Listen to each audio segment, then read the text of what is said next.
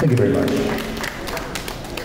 That composition was called Naughty and featured uh, all of us actually, really. Aaron Jans on the drums, Josh, Josh Hatcher on the bass, and me. This next song is called 4H.